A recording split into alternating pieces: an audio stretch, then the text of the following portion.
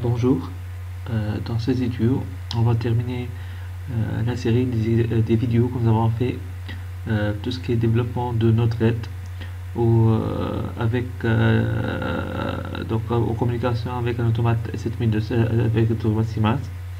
Donc ici, on va on va développer un tableau de bord pour visualiser des données de notre automate S7200 on va développer notre application IoT avec, euh, avec notre, notre ok?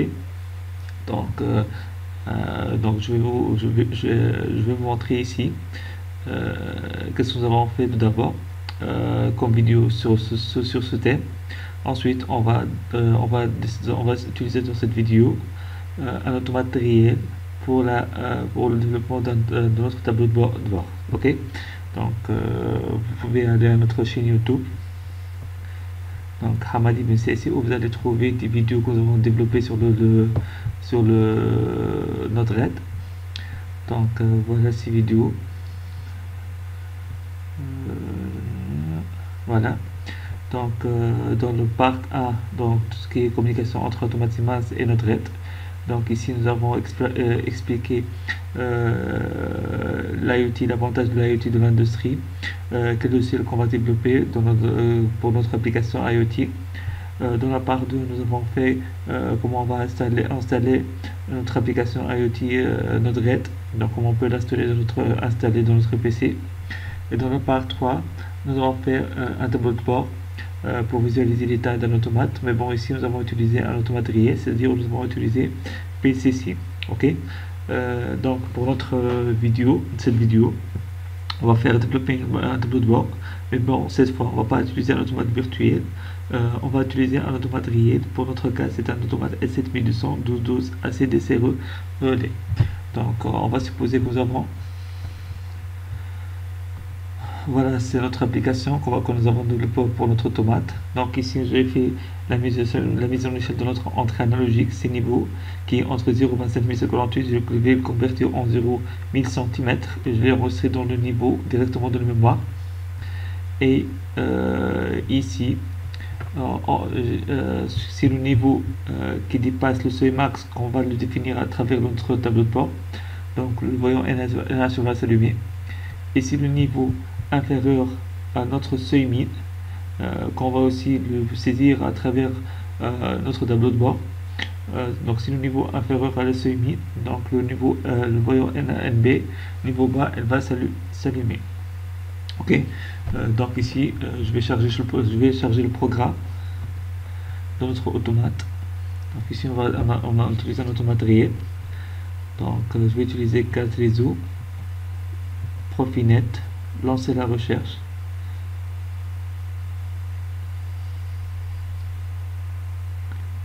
Donc ça c'est l'adresse de notre automate, c'est 192.168.0.1.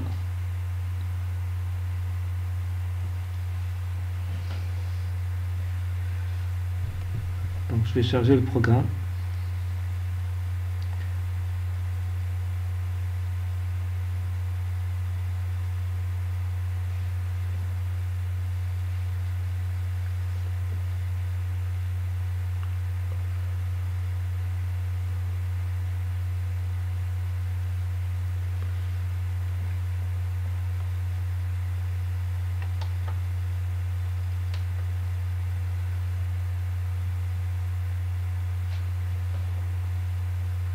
Donc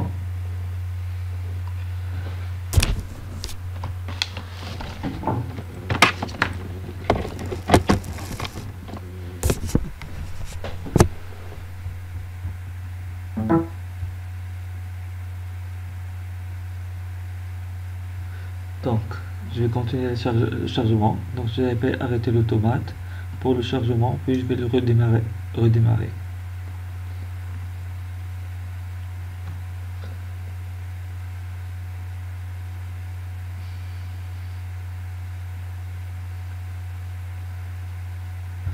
je, vais démarrer l'automate terminé donc ici après le chargement de programme donc c'est bon nous avons fait le chargement de programme donc ici on va lancer notre logiciel euh, Node-RED pour le développement de notre application IoT euh, pour faire le tableau de bord Donc, comment on peut lancer le ciel IoT et notre node Donc, on va inviter l'invité de commande. Euh, désolé, c'est parti, désolé. Donc, on va cliquer CMD, invité de commande.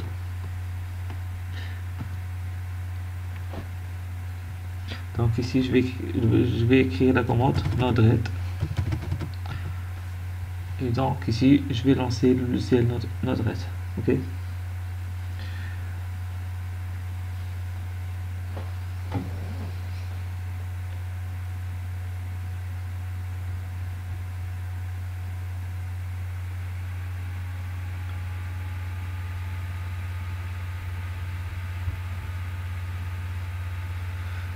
Attendre un peu jusqu'à le, le, se lance.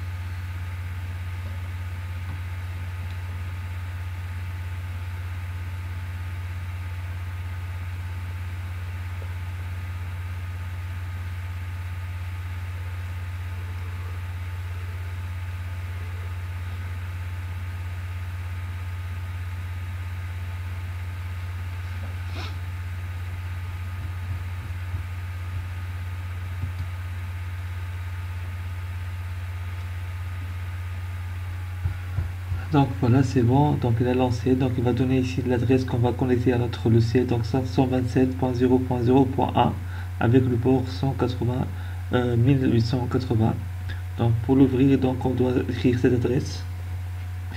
Donc euh, c'est 127 donc 0.0.0.1 avec 2 points 1800 1880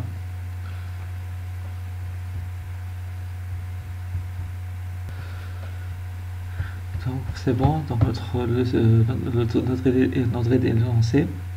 Maintenant on va développer notre tableau de bord. Donc euh, qu'est-ce qu'on va visualiser ici? Par exemple si on, veut visualiser le niveau. Donc pour visualiser le niveau, donc nous avons besoin de la bibliothèque euh, qui va récupérer la valeur. Donc pour, pour lire, donc on va mettre S, S, S7in.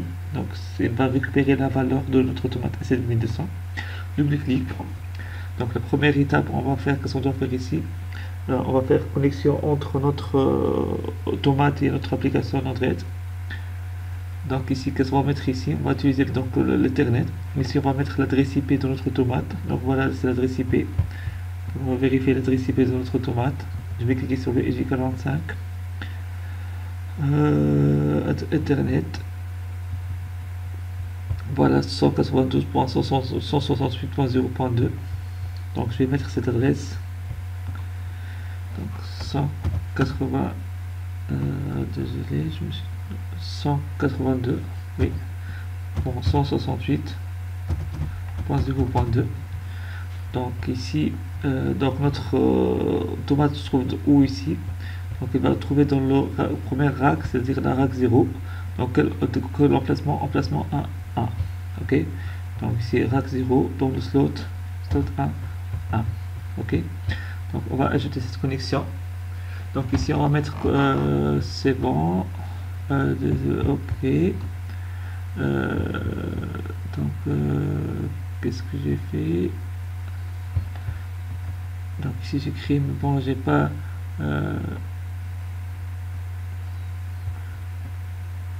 donc j'ai pas créé les variables. Ah voilà donc ici, je dois faire les variables, ajouter les variables. Quelles sont les variables que je vais visualiser euh,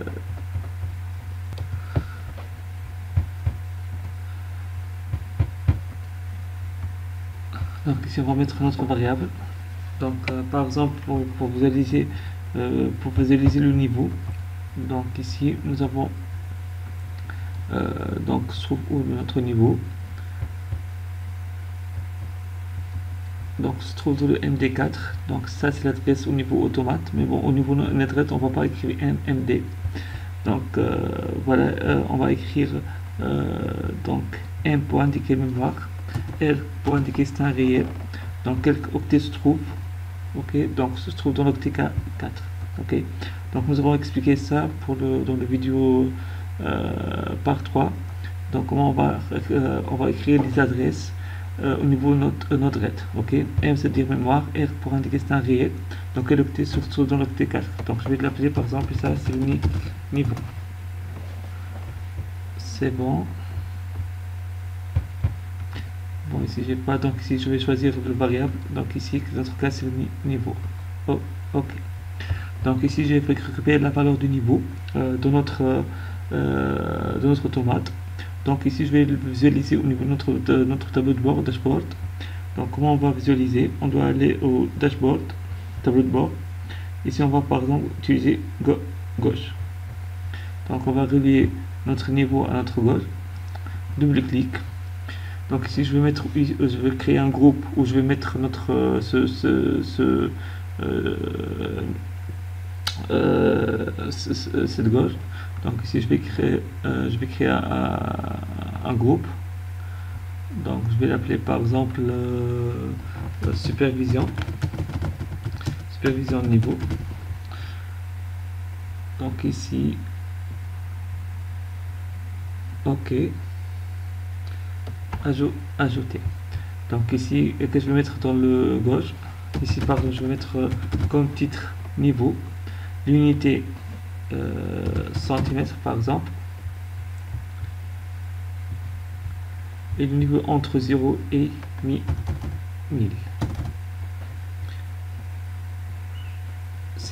c'est bon. Mais bon ici je, veux, euh, je vais mettre à être gauche. Par exemple je vais être level.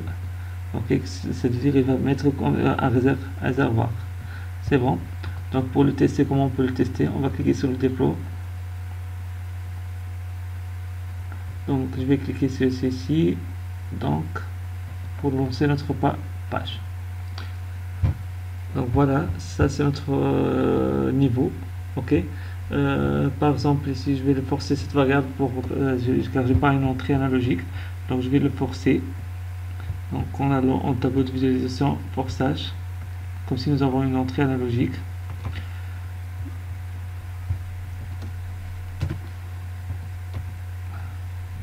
On va faire le forçage.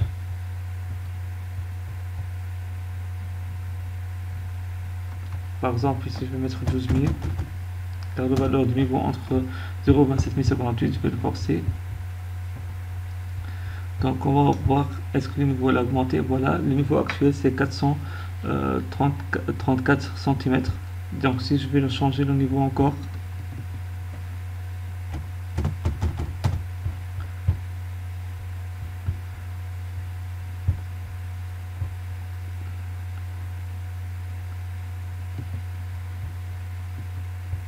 on va voir que le est devenu 831 euh, centimètres ok?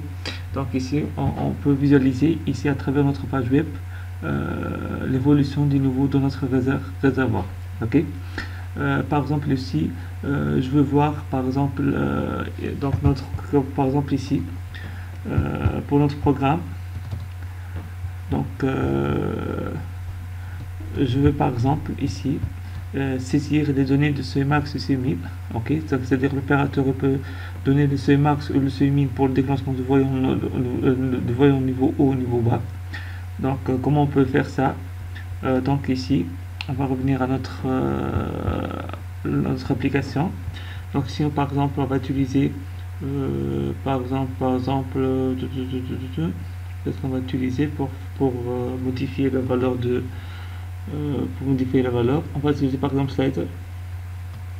Double-clic. Donc ici, euh, je, euh, par exemple, je vais mettre dans le même groupe, par exemple, je vais l'appeler par exemple C C max, par exemple, entrée C max. Ok. par exemple, qui est entre 0 et 1000. Euh, quoi encore? C'est bon. Et donc lorsque je vais entrer le CMAX, je, le, je vais l'envoyer à qui? Je vais envoyer à l'automate. Donc ici, je vais, cette fois, je vais utiliser SA, S7out, c'est-à-dire qui permet d'envoyer la valeur de CMAX vers l'automate. Ok? Donc ici, je vais le relier à notre connexion. Donc j'ai déjà créé la connexion, c'est l'adresse de l'automate. Modifier et je vais ajouter une autre variable. Donc ici je vais cliquer sur add. Donc euh, où se trouve le seuil max donc j'ai créé ici dans le db global db1.db dk4 donc ici comment on va écrire ça?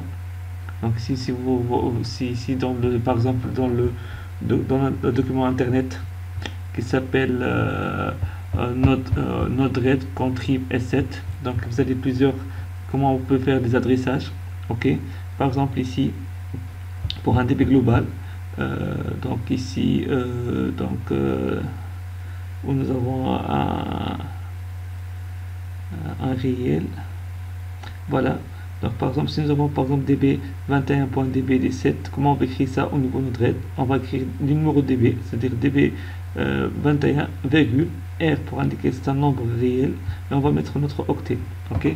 Donc ici pour notre cas donc le dB se trouve dans le db1 virgule donc c'est un réel donc RK4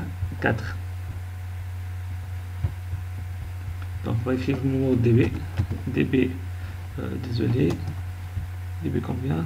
Db1 majuscule db1 virgule euh, c'est un réel qui se trouve dans l'octet 4 je vais l'appeler ce max c'est bon. Donc ici je vais choisir cette variable que je vais ajouter c'est ce max. Oh, ok. Euh, par exemple ici je, veux, euh, je peux ajouter le seuil max et je vais, je vais visualiser aussi. Donc je peux utiliser par exemple le dashboard. Euh, désolé gauche. Et je vais visualiser en parallèle le seuil, max. Ok? Euh, donc la même chose qu'on peut faire pour le seuil ok. Donc je vais ajouter par exemple euh, slider. Donc je vais écrire par exemple ici entrée euh, seuil min qui est entre 0 et 1000 par exemple ici 0 1000 c'est bon et je vais l'envoyer donc vers l'automate dans la variable seuil, seuil double clic. Donc je vais utiliser la même connexion. C'est bon. Euh, désolé. Euh, donc je vais utiliser cette connexion modifier donc c'est quoi la variable que je vais utiliser cette fois? Donc ici c'est le seuil seuil mi. Donc où se trouve le seuil mi? Donc dans le db1.dbd0 ok donc ici on va écrire db1 virgule réel en octet 0 donc je vais l'appeler seuil mi ok donc je vais le relier ici seuil mi voilà. Donc je vais l'envoyer vers l'automate. Et je vais visualiser aussi le seuil min donc on va utiliser gauche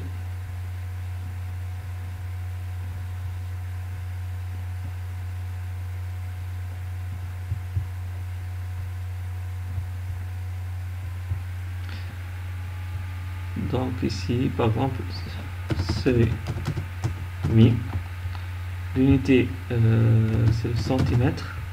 Est entre 0 et mi, ok. C'est bon. La même chose ici j'ai oublié je pense de faire ça aussi. Ça c'est le seuil. Seuil max. Niveau c'est le centimètre. Entre 0 et mi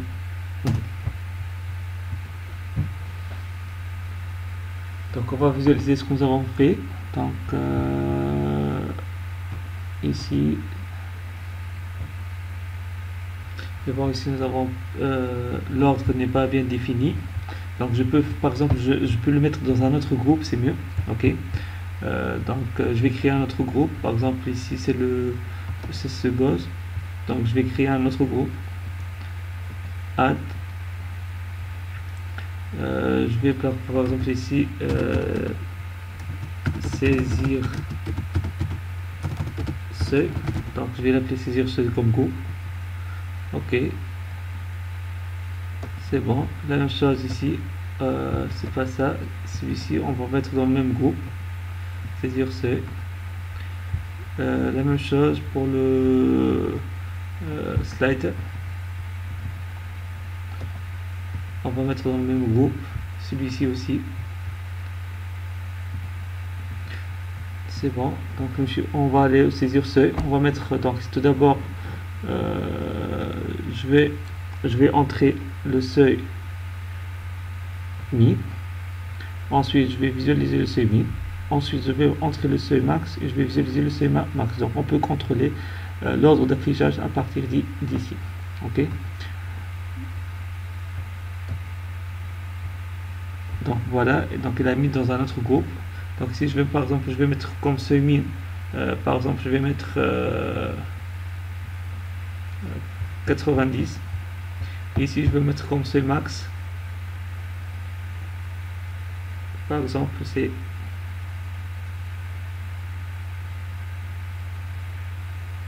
par exemple 812 ok? C'est à dire ici je vais mettre comme si euh, donc si on va aller au programme euh, je, vais je vers la visualisation. On va voir euh, que le seuil volet seuil mi c'est 90 ok. Et le seuil max c'est 812 donc j'ai pu modifier les données de notre automate à travers notre tableau de bord qui est ce que, j'ai développé à partir de notre page web page web ok. Je peux aussi visualiser l'état de voyant NH et MB. Donc comment on peut faire ça? Donc si je vais créer un autre, euh, je vais par exemple euh, euh, créer, donc je vais par exemple ici, je vais mettre ici au-dessous de, au -dessous du niveau. Donc je vais utiliser le, bloc supervision niveau. donc comment on peut faire ça? On doit aller à notre application. Donc donc ici je vais récupérer le NH et le NB. Donc pour récupérer, donc on va set in. Ensuite, on va afficher le voyant pour indiquer l'état de notre de notre voyant. Donc je vais dupliquer, double, double Donc je vais utiliser la même connexion, modifier. Je vais ajouter la variable. Donc ici, donc euh, la première variable se trouve Q0.0 NH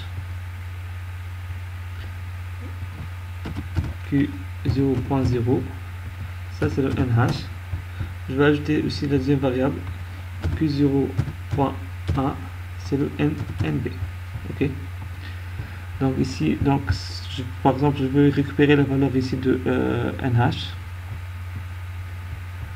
ici je vais récupérer la valeur de N niveau bas.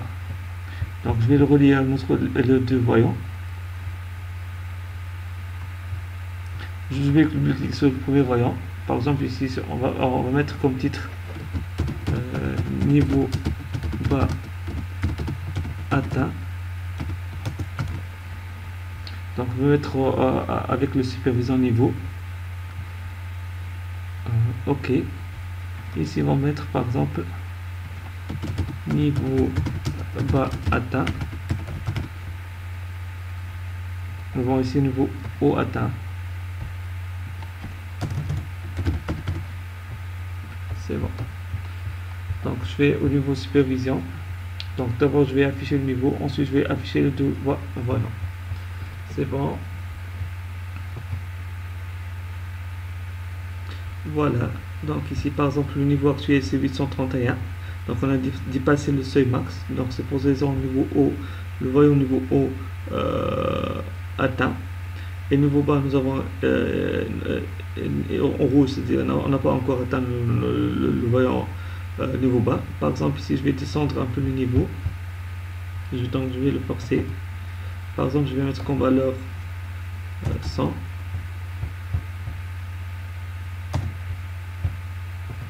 Forcer la valeur. Donc, euh, dans ce cas, donc le niveau égale 3,62. Donc ici, nous avons, nous sommes au-dessous de la valeur 90. Euh, et par la suite, nous avons niveau bas atteint. Donc, comme vous remarquez, nous avons pu, euh, à travers ce tableau de bord, de lire les données vers de l'automate et aussi d'envoyer des données vers l'automate. Ok? merci pour votre attention.